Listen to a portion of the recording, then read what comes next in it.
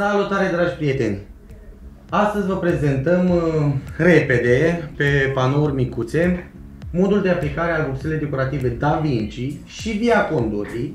De ce Da Vinci și Via Condotti? Pentru că sunt două produse similare. Da Vinci are uh, quarțul foarte puțin mai mic față de Via Condotti. Via Condotti fiind o decorativă mai deasă, poate vă place efectul de aplicare pe diagonală uh, mult mai des. Încep prin a vă arăta cum se aplică amorsa fondul video. La, vopsea, la vopselele decorative Da Vinci Via Condotti pe diagonală vom folosi fondul video. Deci este un fond care conține un cuarț, este ca un jbirger foarte fin și ne va ține mult mai mult pe loc uh, vopsela decorativă. Amorsele, fondul liscio sau fondul video și în, uh, în cazul de față vorbim despre fondul video, uh, se diluează cu 20-40% apă îl aplicăm, uh, aplicăm amorsa exact ca pe un lavabil normal. Adică nu uh, trebuie să ne gândim că trebuie aplicată cu cine știe ce ustensile speciale. Aplicăm ca pe un lavabil normal cu trapaletele. Unde avem uh, glet gol, cum îi spun eu glet gol, folosim fondul video două straturi. Timpul de uscare între mâini este de minim 4 ore.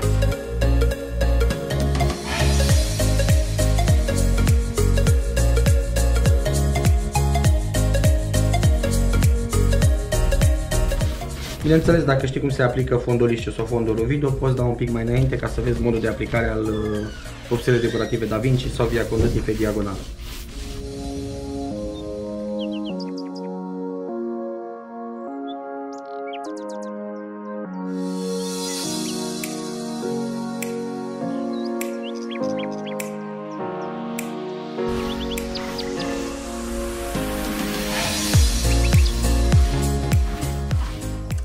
Fondul video se lasă la uscat undeva la minim 4 ore uh, pentru a putea fi aplicată vopseaua decorativă. Acum aplicăm vopsea decorativă Da Vinci. Uh, da Vinci avem o culoare deja făcută, un albastru. Vom aplica pe aceasta, faceți abstracție de culoare, găsiți și alte culori dacă nu vă place albastru în uh, catalogul de culori. Da Vinci pe diagonală, nu mergem cu pensula total pe laterală în uh, diagonală. Mergem și cu ea uh, oblic sau nu știu cum să zic pentru a da diagonala. Adică în acest sens.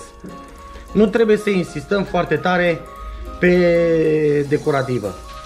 Adică nu se, nu se mai șatirează, nu se mai lucrează ca modelul floral.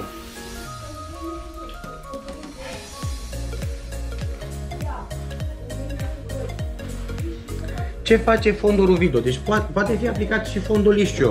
Nu înseamnă că greșim cu ceva dacă aplicăm fondul Liscio. Dar Ruvido va ține mult mai mult uh, cuarțul decorativei pe loc. Sferele de sticlă.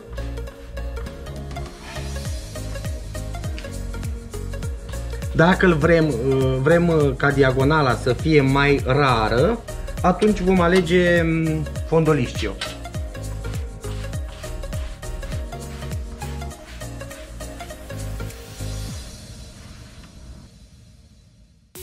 De ce pensula și ea pe diagonal? Dacă merg așa, o să vedeți că îmi rămâne foarte mult uh, această parte, această suprafață de, de încărcată cu quarț, rămâne pe loc. Uh, dând cu ea pe diagonală, este mult mai, mult mai uniform. Folosim tot timpul decorativă puțină. Uh, nu trebuie să, în, atunci când Luăm decorativă din castonel din cutie. Nu începem doar de aici, de sus cu toată. Începem și de la jumate, începem și mai de aici. Și mai de jos. Atunci când avem un perete întreg, ținem toată linia de diagonală. De la început până la sfârșit. Nu facem o bucățică sus, după aceea ne mutăm mai jos, mai jos, mai jos. Mergem exact pe linia de diagonală. Putem să mai trecem peste ruția decorativă să ne așezăm cuarțul mai, mai drept, mai uniform. În cazul în care vrem, mai vrem un pic de cuarț pe aici, se mai poate adăuga, dar tot pe diagonală.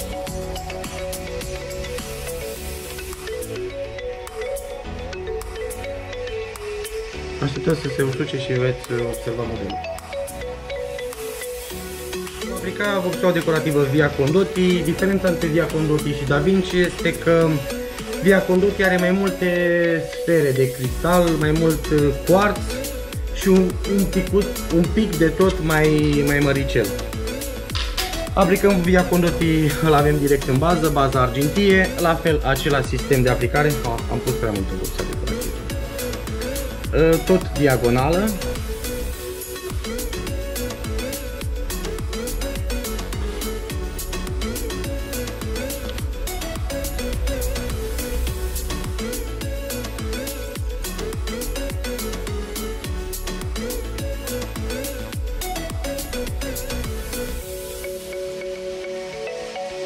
În momentul când aprind uh, vopseaua decorativă Via Condotti peste fondorul video, o să observați că este aproape uniform, adică se văd dungele de diagonală, dar foarte încărcate de quartz.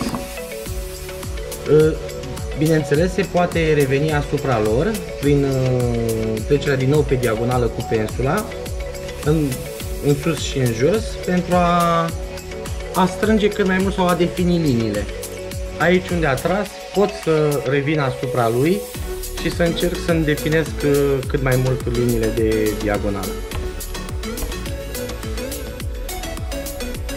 Operațiunea se face pe diagonala totală, adică nu mergem doar pe o porțiune mică. Ne luăm diagonala de la început până jos de tot și continuăm, dacă este peretele înalt, urcăm pe scară, sus, uh, ne luăm diagonala, coborâm până jos,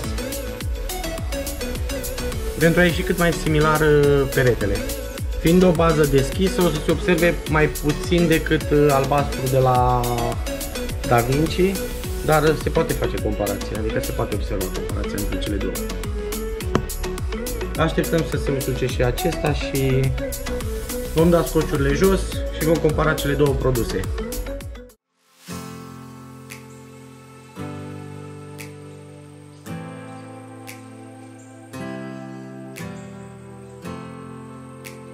Aici avem Da Vinci, uh, culoare albastră cu un glitter, un sclipici auriu, iar aici avem Via Condotti cu sclipici argintiu, Via Condotti în bază argintie.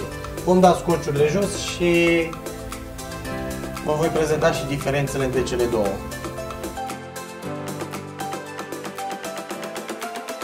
Da Vinci și Via Condotti.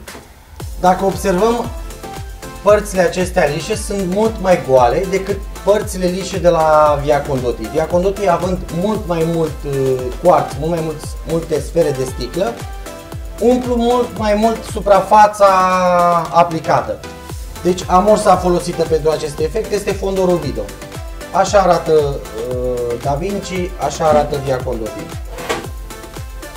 O să filmăm și mai de aproape ca să vedeți diferența între cele două. Deci faceți abstracție de culori, găsiți culorile în uh, catalogele noastre. Vă mulțumim pentru vizionare și contactați-ne!